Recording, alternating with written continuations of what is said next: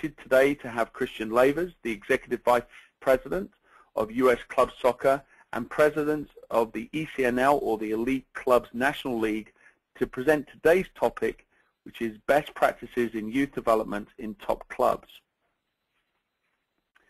Christian became the U.S. Club Soccer's Executive Vice President in January 2011, where he oversees the club and player development programs, league initiatives, develops the organization's marketing and commercial strategies, and secures the strategic partnerships and sponsorships. Christian has extensive coaching experience, including the men's and women's coach at FC Milwaukee Nationals, FC Wisconsin Eclipse, and the Chicago Red Stars, to name a few.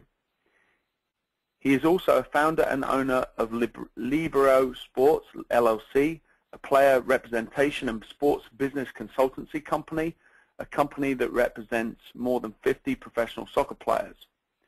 Christian has practiced as a corporate attorney specializing in corporate law, commercial transactions, and intellectual property since 2004. He is a USSF A license coach and an NSCAA Premier Diploma holder. He is also a publisher of numerous articles, um, legal-related articles in a variety of professional publications and journals. Welcome, Christian, to the presentation. Thank you, David. I appreciate that. Um, I'll start the presentation with sort of a, a qualifier, and, and, that there's not a lot, uh, objectivity or statistics backing up or, or, or, detailed research in a lot of the points we're making here. I would say most of the the comments, most of the mm-hmm. thoughts that we're talking about here are based on uh, experience. They're subjective, and know, one of the important things to recognize is that every club is different. And what works with one club may not work with another, and, and, and it may actually be completely counter to the mission statement of the club. So the starting point whenever talking about best practices and what the club wants to accomplish and how you best implement a staffing structure or implement a curriculum or how you basically organize your organization is always going to come down to what the club mission statement is. Uh, and that mission statement needs to define the goals and the desired outcomes uh, of the club. And you know, you can look at different types of clubs that will have mission statements all over the gamut. Uh, at one level, you may have a recreation community-based club whose primary goal is to increase participation of the sport, uh, maybe focusing on youth levels, uh, maybe designed to make uh, participation easy and convenient within certain localities or certain communities. Uh, you may have on the opposite end of the continuum a club, uh, or in this, you know, in an ideal world is, is, is really the purpose of an MLS uh, academy, which is to develop professional players or to develop players to play at the highest level of college soccer uh, and Division One soccer. Um, and then you'll have clubs anywhere in between, whether you want to call that mid-level select or regional focus or a national youth focus. Uh, th there's a mission statement, a different type of mission statement for every type of club.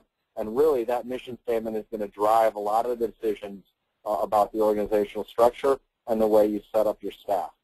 Um, the size of the organization also is going to impact uh, the way that you accomplish that mission. Obviously, big, bigger organizations with more resources provide some flexibility.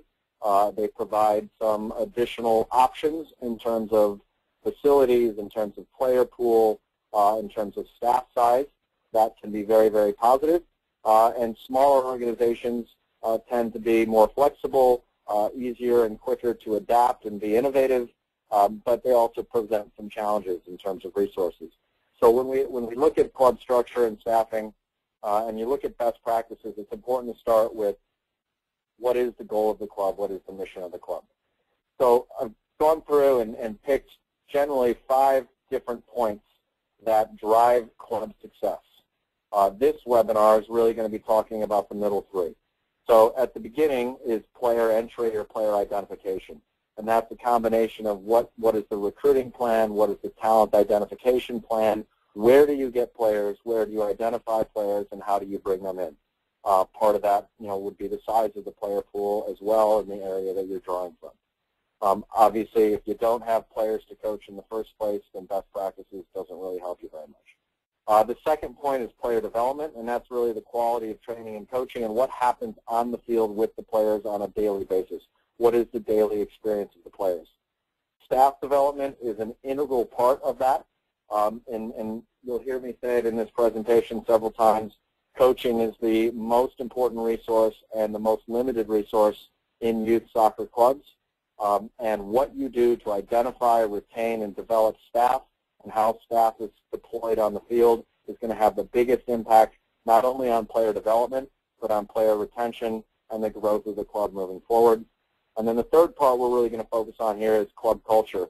And that really is what matters, uh, what is emphasized in the organization, how do people interact within the organization, what is the role and relationship between board members and coaches, between coaches in different age groups, and between players and teams at different age groups and different ability levels.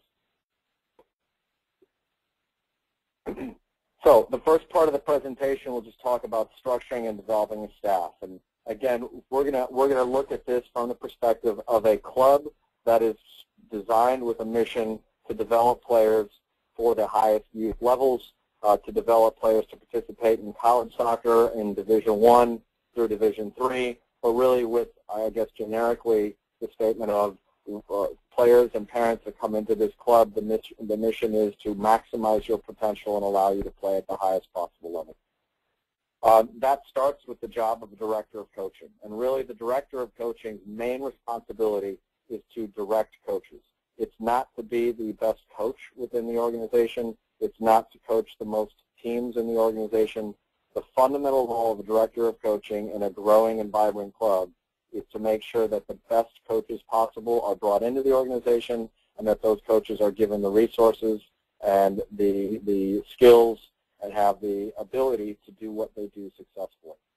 That starts with identifying staff. It then moves into putting staff in the proper age group and level. And this is probably one of, if not the most important roles of a DOC and that's identifying the personal characteristics uh, and the strengths and weaknesses of different coaches within your club and finding where they will fit most appropriately. So uh, but if you look at it from, uh, from just some general examples, the high energy, uh, very easy going, happy uh, guy who's really good with youth kids probably is better with your U11s, U12s, and below than with the most uh, competitive, most intense, most driven under 17, under 18, um, under 18 boys or girls team. Um, the guy who's really uh, good with tactics and really smart at, uh, at explaining different ways of looking at the games and subtleties of, of ways to play in the games, probably not the best fit for your under 10 program. Um, putting staff at the right, right age group and the right level uh, is, is an easy way to eliminate problems, and it's also an easy way to create major problems. Developing staff, and we'll touch on that basically, comes down to what do you do so that your coaches are getting better on a daily basis? What do you do to help ensure that coaches learn from each other? And what do you do to put in place both formal and informal uh, development and education processes? Uh, creating consistency across age groups.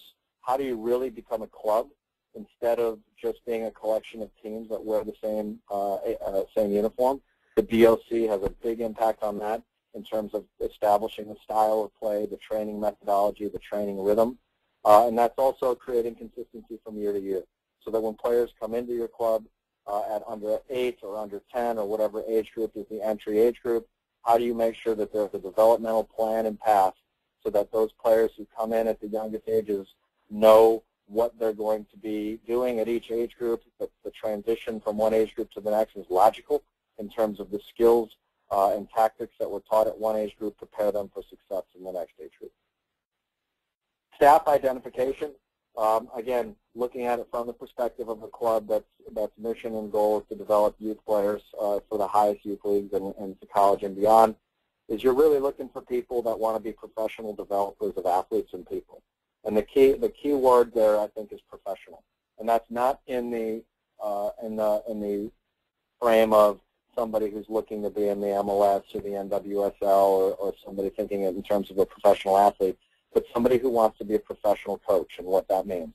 Uh, and that, that reflects everything from continuing education, uh, that reflects to how they conduct themselves on and off the field, that reflects in the way they continually grow and evolve as a coach. You know, and it's everything from being punctual and uh, uh, appearing fit and, and, and neat to being very, very good in communication, both written and oral. Uh, but what does it really mean to be professional? Because if you want to develop players to the highest level, your coaches need to be role models and they need to hold themselves to the highest level. Um, when looking at new staff coming in, I think there's always people who are going to be uh, most responsive to the paycheck and how much money they can make, which typically is tied to how many teams they coach. And you know the the problem becomes people who are most focused on money want to coach the most teams in order to get the biggest paycheck, which also diminishes their ability to be effective and their ability to um, to develop players. So with young coaches, I think it's always more important to hire people who are enthusiastic, people who are excited about the club, people who are excited about the staff uh, and the organization's mission, over people that may have a little bit of a, a, a advantage from a, a basic experience or resume standpoint because the enthusiastic person is going to work harder. They're going to throw themselves into it uh, more fully, and they're going to be a better staff and team player than somebody who's looking for the next big paycheck. Uh, obviously, we talked earlier about matching personality traits of coaches with attributes of ages. It's a big, big uh, deal as a DOC to figure out where people belong, and also to manage coaches who feel you know, that they want to coach into the older age groups or if there's nothing more common than a coach who might be very, very good with youth at, you know, U10, U11, very, very good at teaching the basic technical stuff, who has uh, ambitions and aspirations to coaching the U16 and U17 top teams because that seems more exciting or because that's the age group that, you know, they think about tactics more and that sounds more exciting. How do you manage that within a staff? Development, your fundamental role as a DOC comes down to training coaches to be better at what they do. Uh, that starts by putting them in the right spot, and that continues with removing obstacles uh, from them in their development to providing them with the resources that they need, whether that's equipment, whether that's facilities, whether that's education, whether that's sometimes the support, uh, or in terms of removing obstacles, sometimes it's taking the parents' obstacles out of the way so that the coach can really focus on coaching and not have to deal with some of the political stuff off of the field. Um, staff development is about also creating within the club a culture of continuing education, formally and informally. That includes the licensing uh, and expecting coaches to go through the licensing process. The phrase that I've uh, heard most about licensing that I think is really um, applicable is if you go to a, any type of symposium or license and you come away with one or two really good ideas or really new thoughts, that's a great license, that's a great symposium, and it's valuable. If you come away with 10 or 15 new ideas, you're probably way behind. And uh, that's sort of the expectation that your coaches should have as they grow older and develop in their career, is that you're going to go places and you're not going to come away with you know, a lot of new stuff, but you're going to come away with a new wrinkle on an old activity or a new way of talking about things or a new way of looking at things. you know, here I just put a quote in here from Arsene uh, Arsene Wenger of really as a coach, if you if we're expecting our players to continually develop, if we're expecting our players to train on their own and push themselves to maximize their abilities, then we need to expect the same things from our coaches because our coaches fundamentally are role models for the players. Um, some basic internal staff development concepts. You know, requiring written trainings, um, distributing written training plans. You know, sometimes sometimes that's viewed as a uh, negative. It's viewed as a really sort of a, a pain for coaches to go through. But requiring people to put out their trainings in writing, or now more and more clubs are digitizing them with different types of programs, whether it's PowerPoint or Global Coach or SoccerX or any of these types of programs.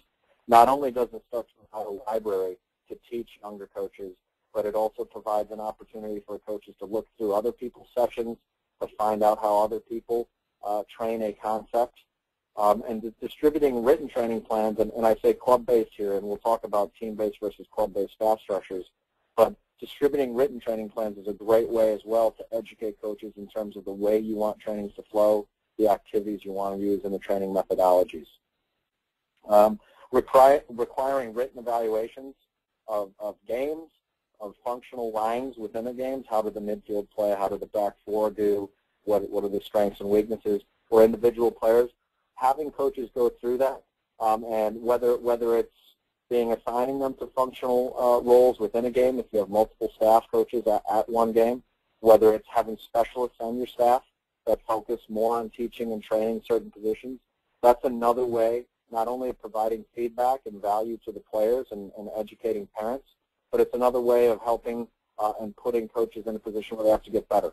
Because being able to teach something is a lot different than doing it, as we all know, but being able to write down um, a, a, a, strengths and weaknesses and suggestions of how players or lines or teams get better in certain areas tends to for, force coaches into a more um, uh, a more uh, formal planning process and to think a little bit deeper.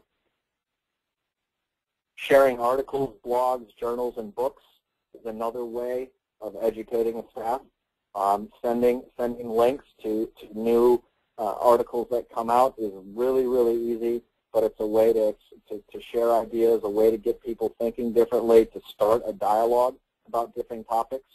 Um, that's also some, some clubs have coaches meetings where staff are assigned to present on different topics, uh, whether it's a, a new uh, methodology of training or whether it's just a different type of activity or new activities and ways of training a new concept. Having that kind of informal discussion within a staff uh, has goes a long way to giving people new ideas and just generating discussion that may create some new ideas.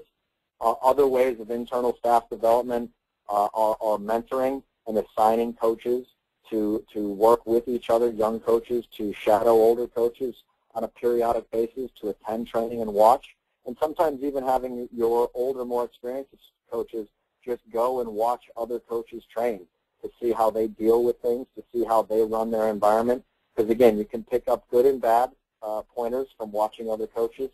Uh, and, and that type of integration as well tends to foster dialogue. And anytime you have coaches talking about uh, teaching methodologies and talking about how they do things and why they do things, you're, you're creating the opportunity for new ideas to, to arise and for people's horizons to broaden a little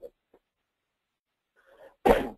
Looking at, at the way clubs are, are staffed, there's two basic uh, staffing models as I look at clubs, and one is a team-based uh, model and one is a club-based model. And in a team-based model, and I, I, would say this is probably more of the, the traditional club, is one coach per team, where that coach is, is really the, the sole focal point of those players and parents. And that coach is the primary contact. That coach is responsible for just about every aspect of the technical development of the team, uh, and in a lot of ways probably oversees and manages some of the administration and operations of that team. Um, I think more and more clubs at the highest levels are moving towards a club-based model now, which is multiple coaches per team overseen uh, by a director that helps to coordinate across uh, age groups and across teams within an age group.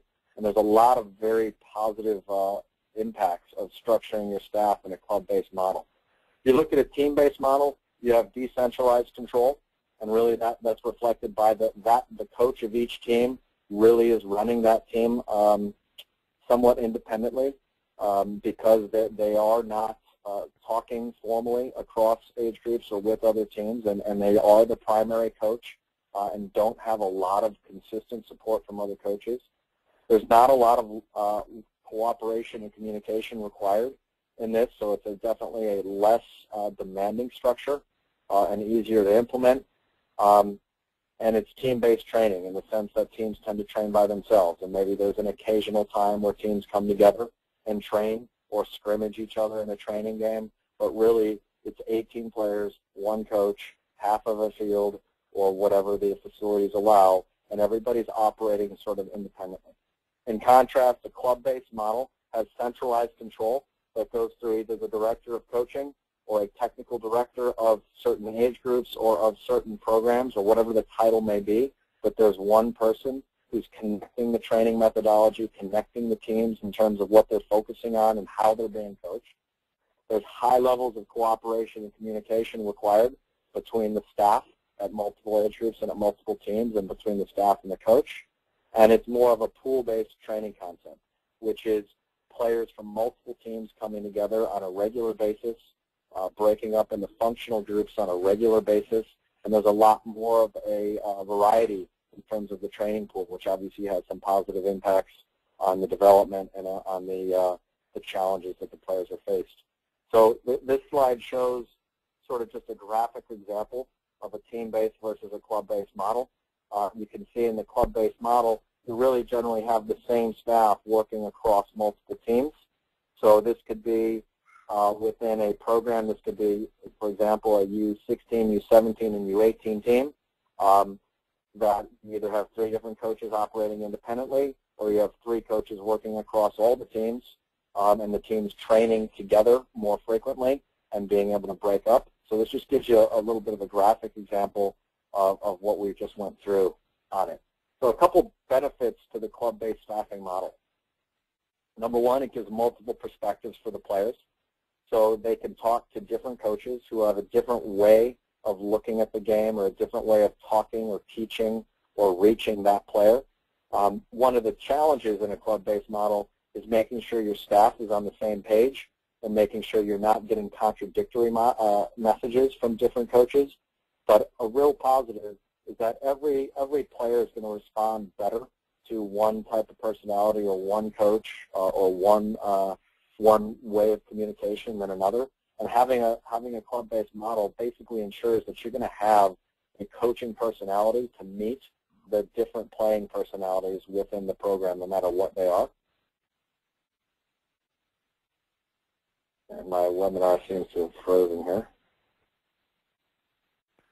Okay, let me just, uh, I think what's happened is we've hit our limit of people on the webinar, which is great, but it slows down the presentation. Let me just uh, click on there for you. Okay. How's that? Okay, there we go. Thank you. Um, second, of, uh, second advantage of it is there's more individual feedback and contact within a club-based model. Now, that seems sometimes a little bit um, a little bit uh, difficult to understand. If you have one coach and 18 players, you have a ratio of 18 to 1. How is it much different if you have two coaches and 35 players or three coaches and 45 or whatever it may be? Um, one, in a club-based model, it's easier to bring in part-time people on a one-day-a-week, two-day-a-week type uh, structure where somebody doesn't have to have the responsibility of being there every single day and doing all the other stuff that's involved in operating a team. So you can bring in people that improve your coaching ratios who are not there and not having to be there every single day. That allows you to lower your coaching ratios or, or actually increase your coach-to-player ratio. Um, another way is when you have multiple coaches, you have one coach who is leading the activity and another coach or two who can work uh, by pulling players out individually and speaking to players individually, which is very, very difficult to do when it's just one coach and 18 players. But with a lead and assistance within the environment, it becomes more uh, practical to make very specific targeted feedback to players. Um, within pool-based training, you also have a, uh, in a club-based model, you have more ability for functional training or ability-based breakouts um, because you can take six, eight backs out across two age groups and train back fours together. You can take your eight forwards out and have a lot more variety in the finishing combinations you can do than if you're just doing it with two or three forwards. Um, you know, obviously the coaching, having the ability to have multiple coaches is, is uh, imperative to this. It's also easier to break out based on ability, uh, to take training groups and plan training groups and say, okay, these 10 players here, maybe they need a more, a more technical-based section today, and this group can be a little bit more demanding and from a tactical standpoint. Or even even in competition to match uh, levels better uh, in 4v4s or 5v2s by breaking them by ability uh, in a way that's harder when it's just 18 players and you have the, the bottom three or four that really struggle to compete with the top 18. Uh, a, a club-based model provides more consistency across the age groups because teams are training together. It's also more engaging and rewarding for the staff because staff feel like they're not on an island as much. They're, they're interacting with other adults, they're interacting and, and talking with other coaches, and that can be good for a stress reliever. It can be good to share ideas. It can just be good for you know, the camaraderie within the staff.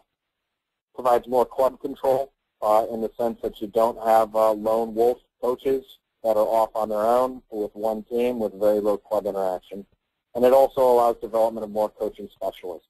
somebody who really spend their time focusing on how, how do you train the, uh, the defending uh, back four? How do you get more and more into the details and subtleties of that area of the field or that function, whether it's forwards, midfielders, wide players, whatever it may be. So there's a lot of positives from club-based model. Going into curriculum implementation and periodization.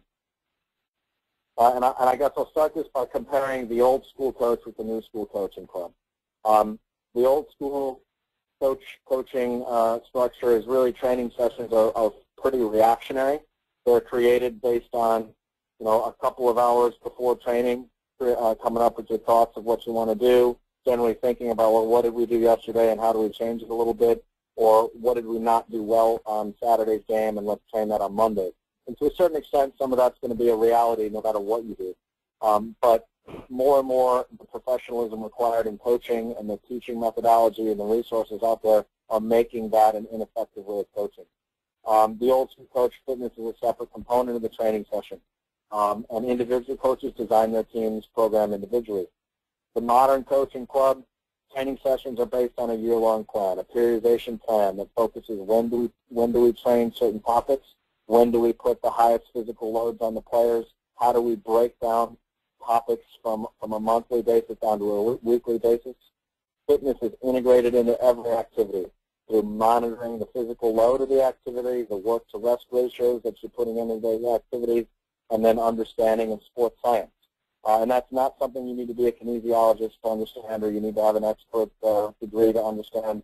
But a little bit of knowledge can really help you understand how to increase intensity and how to monitor loads um, in ways that you get better development rather than just sort of throwing kids out there for a 90-minute training session without too much thought in it. Um, and then in the modern club, again, in a club-based model, you have directors developing training programs for all age groups and coordinating across the groups. Periodization is basically a fancy way of saying planning. It's planning your training and development schedule over time to maximize performance and minimize risk of injury. And this, you periodize topics, you periodize physical loads, you periodize the number and frequency of training sessions. So it's basically dividing the season into segments. You can break it down into preseason, mid-season. Uh, when you look at your competition season, usually you have different times where even within a competition season you have a higher number of games versus a lower number of games, or you look at it saying the games probably in the last third of the season are going to be a little bit more demanding or more um, important maybe in terms of standings and final qualifications, the, the games in the first couple of weeks. Uh, how do you manage an off season? Uh, how do you manage the postseason? So looking down just on how, when do you want your teams to peak? When do you want them to be at their freshest? And when do you really want to push to build uh, fitness or power or strength uh, the most? You can look at it from a sports cycle uh, or a training topic streams in terms of a preparation period where you might be emphasizing some of the standards in your club uh, or the or the ways you want to play generally. Uh, you can talk about basic tactics, 1v1, 2v2, attacking, defending, wide play. You can talk about periods when you're going to emphasize more functionally or more team organization. What does it really mean in the way that we want to play a 4-4-2? Are we going to have a diamond midfielder or a flat midfielder? How is our right midfielder maybe with some of his or her unique qualities? How are they going to fit into our team concept? You can look at it from a volume and intensity standpoint in terms of your trainings, how many and how much uh, are you demanding. You can look at it from an emphasis uh, in the four components. When are you more technically focused? and When are you more tactically focused, for example? And then obviously there's physical demands.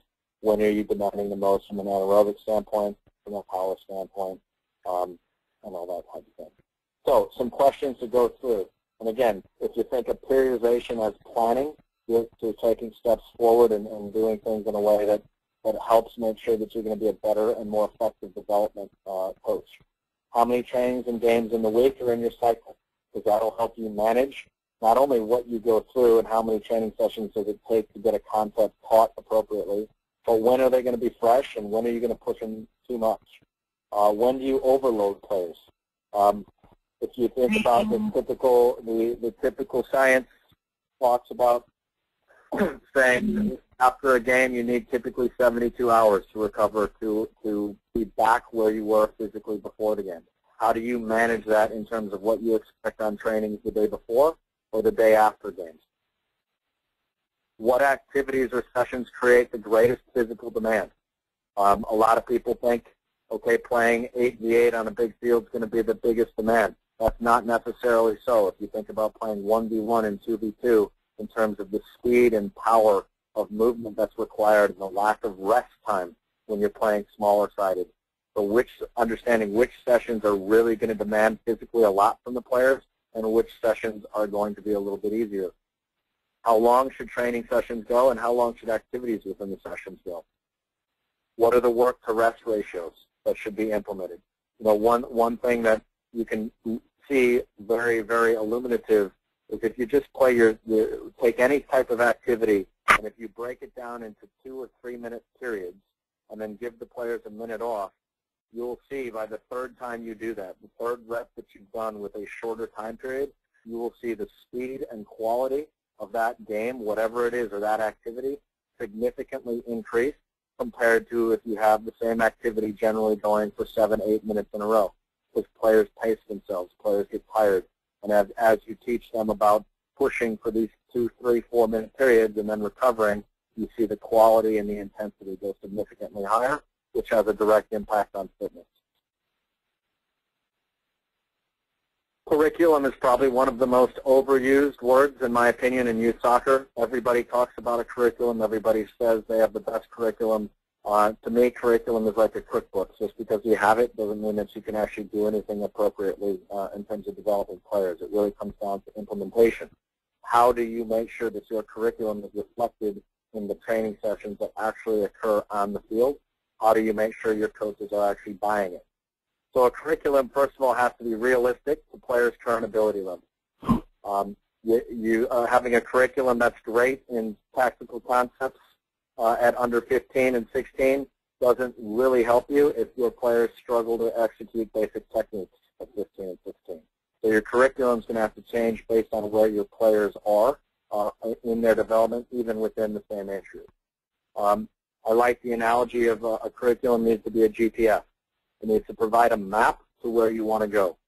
So if you're 17s, if that is the, the pinnacle of your club, or 18s, that's the highest level of your club, and you look at what is required to play at the highest level in the leagues you're in or the places players aspire to get to, then you back your curriculum out from that.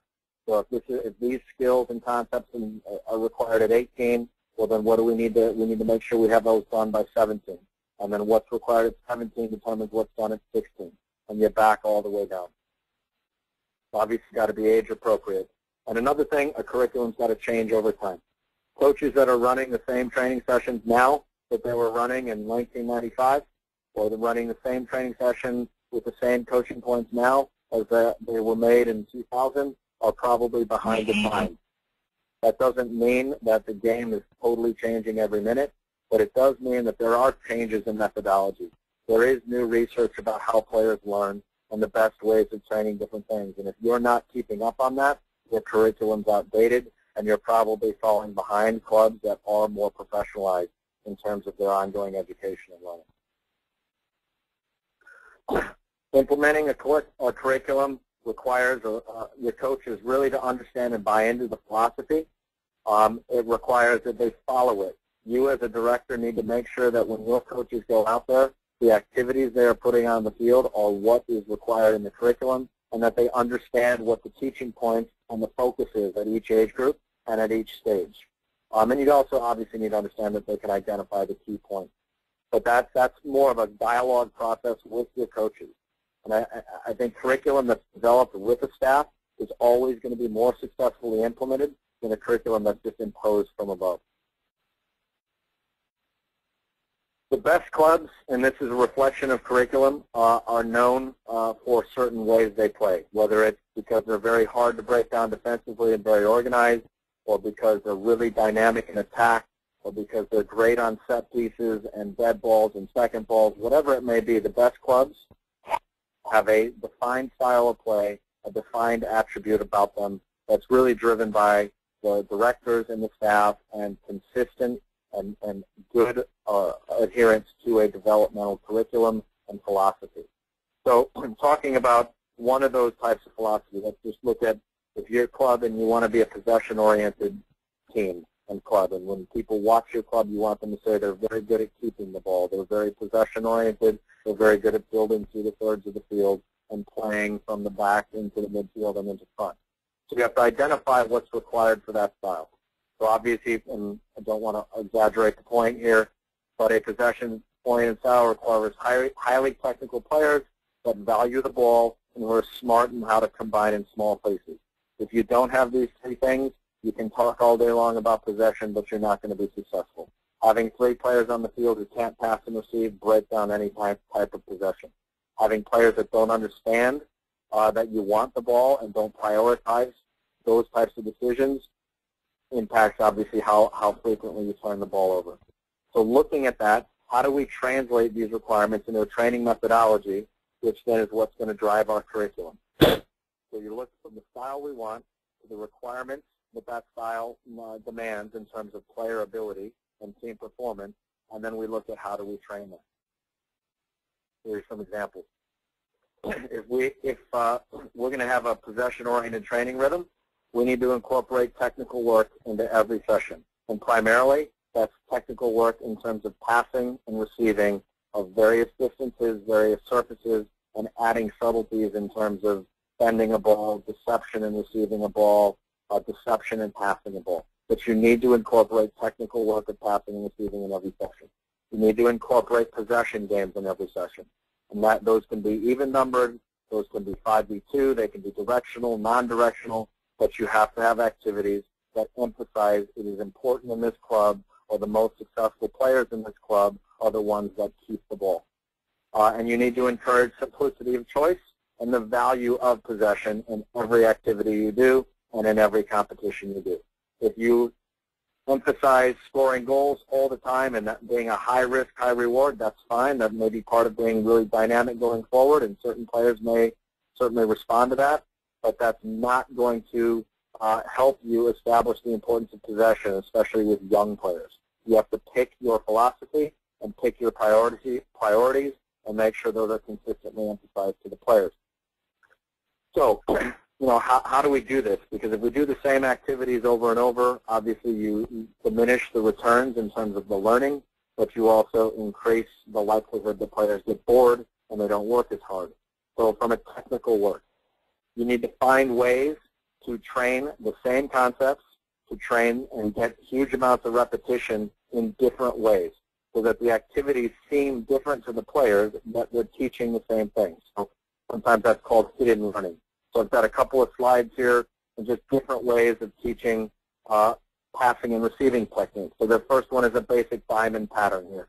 Player 1 to 2, 2 to 3, 3 to 4. It's just sort of a, a, a straight diagonal type combination you can come up with a dozen different combination patterns out of a diamond shape where the players are challenged by having something new and different to do, but the coaching points stay the same in terms of counter movement, check away, check through, in terms of pace of pass, demanding and putting a precise pass um, to the right foot or to the left foot, uh, bending a ball uh, into a path of a runner maybe different surfaces with a driven ball over a longer distance. So you could take the same diamond and you could double the size and work on driven balls versus short combination play.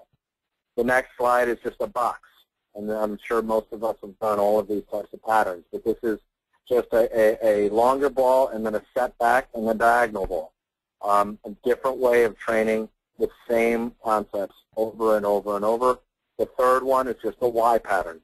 A ball forward, a layoff, a ball forward again, and then a wall pass. These are three different shapes, three different training activities, each one of which has a thousand different variations of rhythms, of patterns, of distances that you can create so that practices vary from day to day, but every day you're emphasizing passing, receiving technique. You're emphasizing the tactical cues, checking your shoulder, creating space, counter movement, you're emphasizing the decision making and the body mechanics that you want to play a possession-oriented style of play. That's basically what this uh, final point goes. And within these, you can do these same sessions with under 11, where your focus is more on actual technique, lock your ankle, get your knee over the ball, uh, that type of very basic biomechanical stuff, or you can do these with professional players. And your emphasis becomes about quality, about being perfect 10 out of 10 times, about adding deception, about doing it faster with bigger pace, about doing it with the ball in, an air, in the air, um, all sorts of different more uh, advanced subtleties. And really what you're doing here by incorporating these types of activities in every one of your training sessions, you're getting a huge amount of repetition of the technique and the type of movement in the game that's required to play professional-oriented soccer. Uh, you're emphasizing the style of play you want to have of constant movement, constant combinations, constant passing, and you're emphasizing what's valued, which is we keep the ball. We combine. We don't panic. We play with each other. We move it quickly, and we keep the ball. So that's obviously just one example. You, you, you depending on the, what your club, uh, what your style is, what your philosophy is, you can create the same type of session structure for um, any other type of style, or certainly even even breaking it down more into the way we defend or the way we attack. Do we attack by getting balls wide and putting balls in? Do we attack by combining through the middle and breaking people down and, and quick combinations? You can have the same concepts in developing those types of things. The final part of the presentation here is uh, club, club culture uh, and creating culture, which really is the way that your players uh, act and the way your staff acts and the way everybody interacts. Culture is as much a part of player development as training sessions are. So you look at ways you can measure culture. Mental toughness of players. That's something that can be trained. That's something that can be developed. That's something that can be encouraged. Certain cities don't have a monopoly on having tough players who are good at winning head balls, but tough players that are good in the tackle. That's something that's demanded in the environment. Competitiveness, how, how driven are players, that can be taught. The style of play, which spent a lot on. Commitment to development. These are all different ways that you measure the culture uh, within your club and the better the culture is, the more consistent the culture is, the more effective you are on player development. Culture is created by messaging, by actions and communications. What do you model? What do you encourage? What do you do to integrate teams? What do you do making sure that teams are doing things together on and off the field and across the issue? That creates culture. And finally, how do you measure it?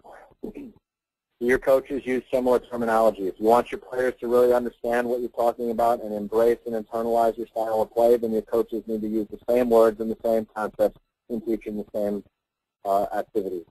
Do your players actually say the things you say? Do your players use your words? If they are, that's a good sign that they bought, they're bought in, that they understand what you're teaching and they're embracing what you're teaching.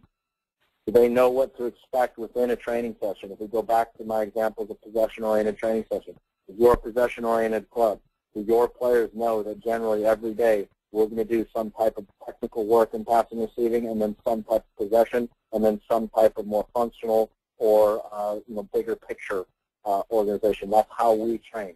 Do your players understand that or do they not really know the way you train? Could they not explain it? Do other clubs recognize the way you play? I think it's a great thought exercise.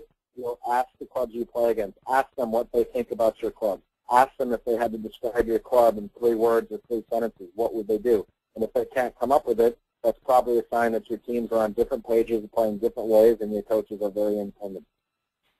Uh, do your players get the same message from the different coaches? You know, you have to manage your coaches to make sure that everybody's on the same page and pulling in the same direction.